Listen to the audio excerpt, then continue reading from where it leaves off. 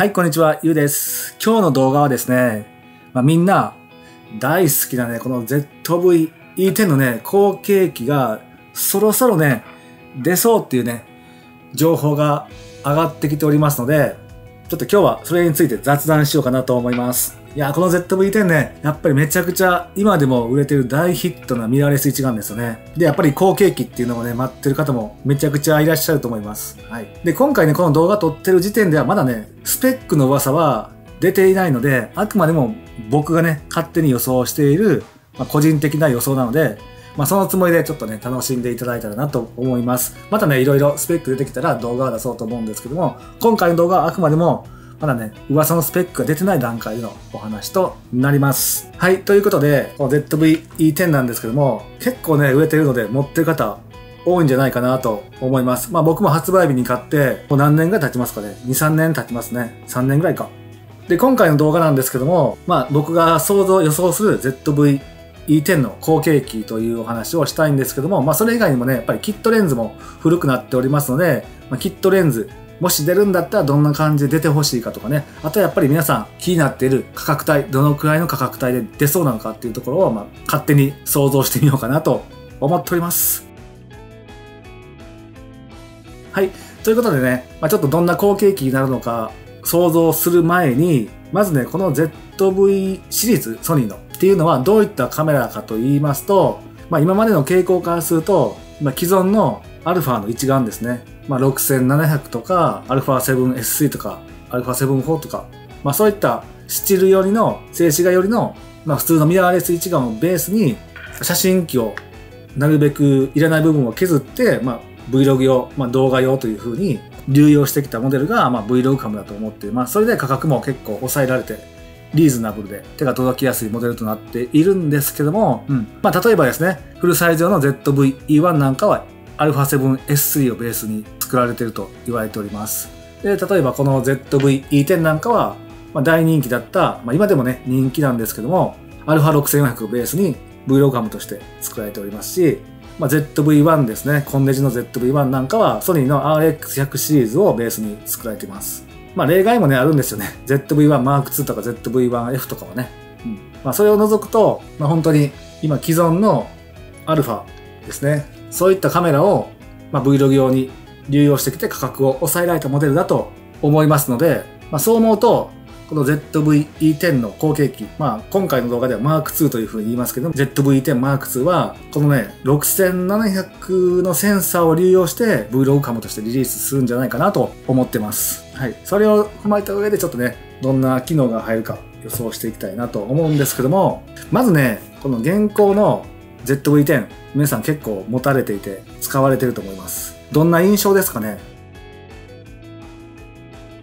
で、僕が使ってて良い点と、ちょっとね、気になる点、お話簡単にしておきますと、まずね、良い点なんですけども、α6400 というね、大人気の APS-C のミラーレス一眼をベースに Vlog 用カメラとして作られたので、非常にね、元のスペック自体はいいカメラだと思います。なおかつ Vlog カム用にチューニングされてきて、まあファインダーとかそういったものを取り除かれていますので、価格が非常にお求めやすいとなっているところですね。うん、今ね、Amazon 見ると、ボディだけで7万6千円となってますね。で、レンズ付き、このキットレンズ付きで9万ぐらいになってるので、今のね、やっぱりミラーレス一眼の価格帯から考えるとすっごくね、やっぱ手が出しやすいモデルとなってると思いますね。で、なおかつ、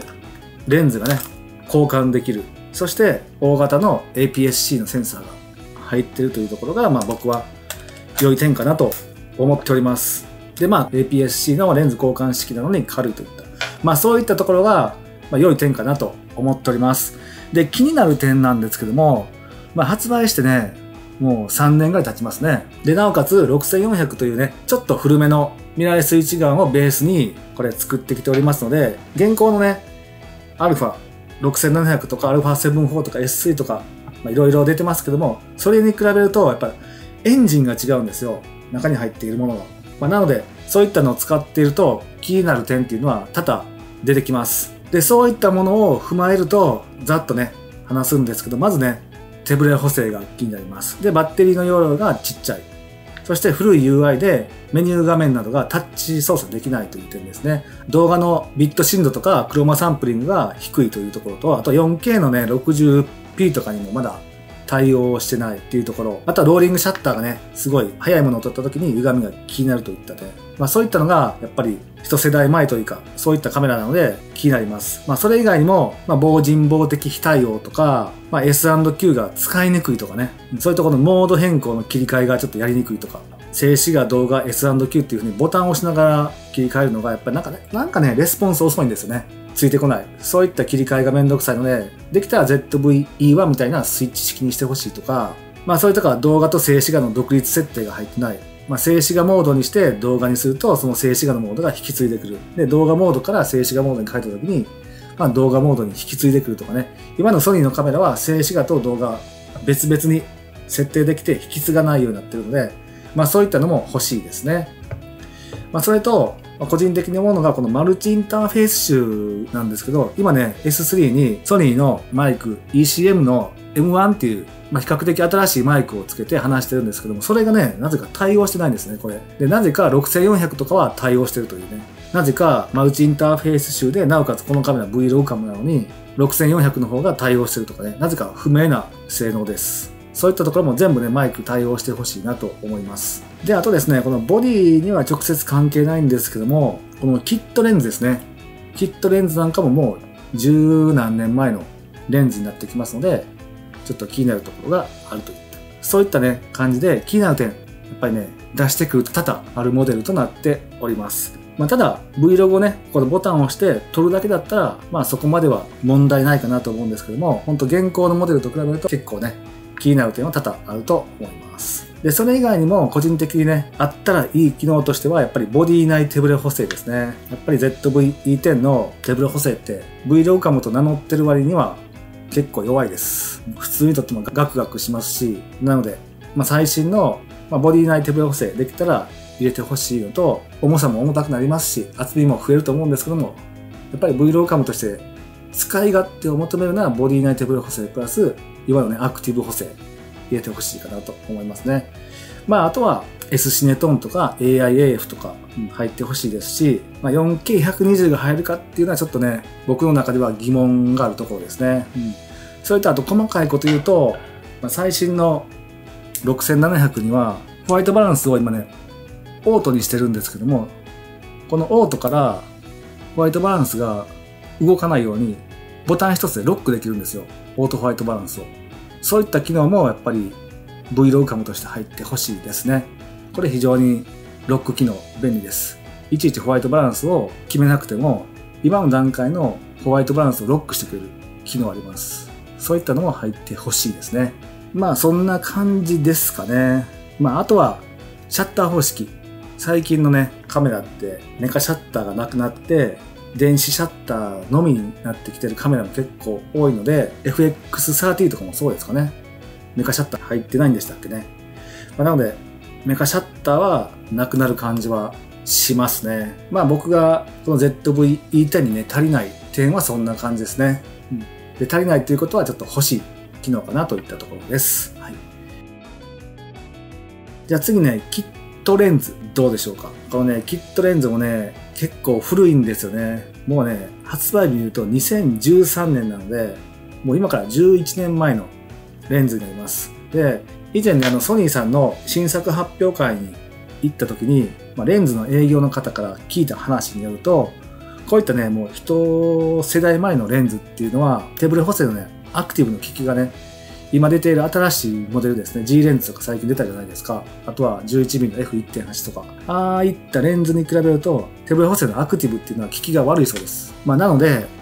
まあその辺も含めて新しいレンズ出そうな感じもします。で、どんなスペックが出てほしいかと言いますと、まあ僕はね、パワーズームで、まあ、フルサイズ換算で、まあ、Vlog カム的には 18mm、50mm くらいの画角で出てほしいかなと思います。で、F 値が2.8から4ぐらいかな。広角側の18で、まあ、2.8ぐらいになってくれて、まあ、ズームしたら、まあ、最大の開放が F4 ぐらい。まあ、そのくらいがいいかなと思いますね。で、サイズもやっぱりコンパクトに入れてくれたらいいかなと。勝手に想像しております。で、次ですね、価格ですね。やっぱね、価格、一番気になるところだと思います。もう最近のね、カメラってめちゃくちゃ値段上がってますよね。で、10万以下で買えるカメラってそんなにないですよね、ミラーレス一眼で。うん。で、先ほども言ったように、このね、ZV-E10、Amazon で見るとボディだけで今7万6千円ですね。で、キットレンズセットで、まあ、9万です、このセットで。なので、まあ、普通にね、お買い得ですね。で、ZV-10 をね、購入した人が、本当に Vlog を撮りたくて、このカメラを購入したのか、もしくは、ミラーレス一眼というものが欲しくて、なおかつ、いろいろ調べたら価格が安くて、これを買ったのかっていうところも気になるところです。やっぱり Vlog 株として欲しかったら、次の後継機もやっぱり新しくなったので欲しいっていう方もいらっしゃると思うんですけども、価格で安いから購入した人にとったらね、すごい値段高くなったら残念になると思うんですけども、まあおそらくね、価格は僕はどうなんでしょうね、この6700ベースに作ってきたら、多分ね、10万は必ず超えてくるかなと思いますね。今これだいたい19万ぐらいなんですよ。ボディで6700。で、例えば6700ベースにこの EVF 省きます。メカシャッター省きます。で、どうでしょうね。4K の120省きます。そうすると、15万前後かなと。うん、なってくるのかなと思ったりもするんですけども、まあどうでしょうね。まあ、これはあくまでも僕の予想ですので、もっと安いかもしれないですし、まあ、防塵防滴とかも省いてきて、もっと安くしてくるかもしれないですし、うん、その辺はちょっと不明瞭なところはいっぱい、ほんとね、スペックの噂が出てこないとわからないんですけども、やっぱり今の ZV-10 から比べると、やっぱり高くなると思います。まあ僕も覚悟はしております。はい。ということでね、まあこんな感じで、もうすぐね、発表されるみたいな、ね、噂が出ているソニーの ZV-10 Mark II なんですけども、まあとにかく今のソニーのミラーレスから考えると、スペック的にも古くなってますし、まあ他のメーカーからも比べると、やっぱりスペックかなり劣るところ多々ありますので、まあ、とりあえず正常進化はしてほしいですね。最低限の機能、手ブレ補正が強くなるとか、タッチパネル搭載とか、まあ、その辺は追加してくれたらもう、あとは撮るだけですので、Vlog ボタンを押して。まあ、なのでその辺の最低限の機能はつけてほしいです。ただね、ソニーさんいつも新しいモデルが出ると何かしらね、新機能搭載してきてますよね。ダイナミック手ブレ補正とか、まあ、シネマティック Vlog モードとか、マイクの指向性が変更できるとか、何かとやっぱり Vlog に特化したモデルは、それに伴ってなんか新しい機能つけてきてますので、まあ、それどんなものがね、出るかっていうのも楽しみにしたいところでございます。はい。ということでね、まあ、ZV-E10 の後継機が出たら、まあ、しっかりね、やっぱり動画撮りたい人は、前から出ている FX30 というね、モデルがありますので、やっぱそっちに行かれると思います。長時間録画したいとか、本当に動画に特化したモデルはそっちにあります。で、写真もしっかり撮りたいなら、このね、6700っていうのが用意されてます。うん。まあ、なので、ZV シリーズはもっとね、動画を気軽に、日常をね、楽しく残すっていうね、動画カメラになると思いますので、まあ、その辺も考慮してどんなカメラになってくるのか、僕は楽しみにしております。またね、いろいろ噂上がってきたら雑談したいと思いますので、またね、遊びに来てください。またね、皆さんの ZV-E10 の後継機に期待することあったらなんか教えてください。それでは本日の動画はこんな感じで終わりたいと思います。それでは。